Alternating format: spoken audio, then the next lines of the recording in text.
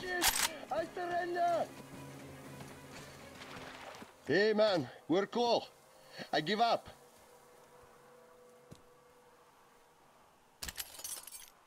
At least he didn't fucking shoot me on.